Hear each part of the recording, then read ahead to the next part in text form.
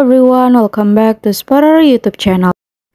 You know guys that checking battery health is an essential to detect any possible issues so that the device always runs smoothly without experiencing battery failure. And now I'm gonna show you how to check battery health in Samsung Galaxy A24. Before checking battery health, make sure you have the Samsung member apps so you can check battery health. You can get these apps on Play Store.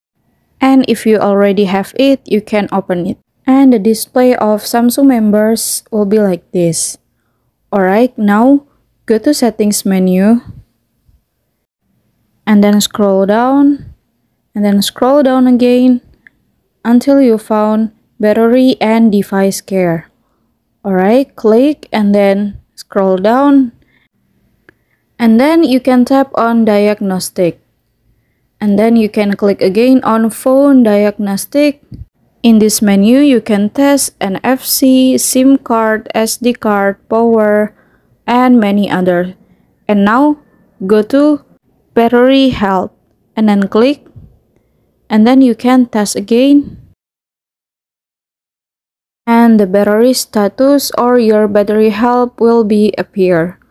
Alright, the battery is normal, life is good, and capacity was normal. So here the tutorial to check battery health without apps easily.